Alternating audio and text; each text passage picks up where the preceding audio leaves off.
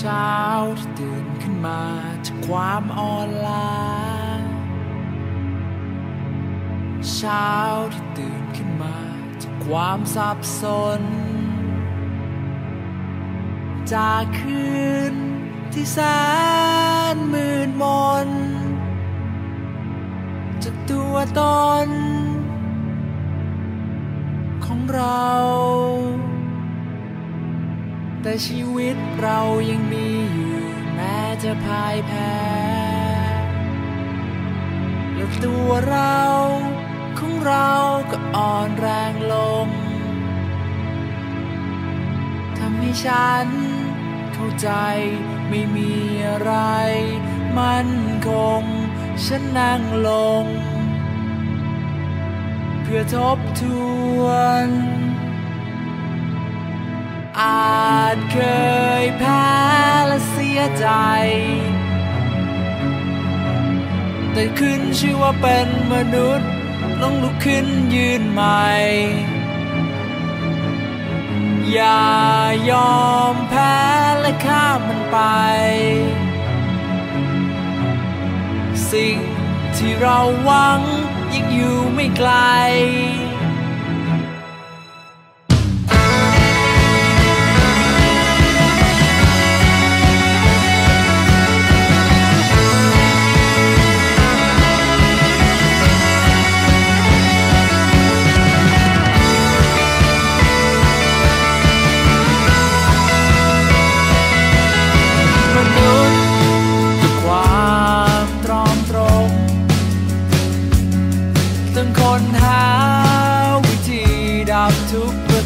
มลดละเริ่มที่ตัวที่ตนที่ลมหายใจอดีตจะกลายเป็นความทรงจำ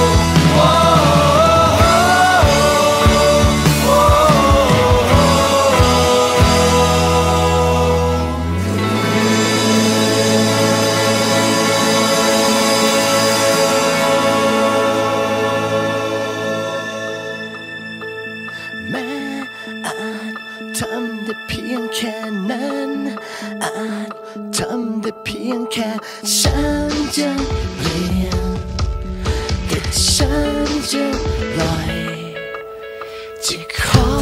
เก็บมันเอาไว้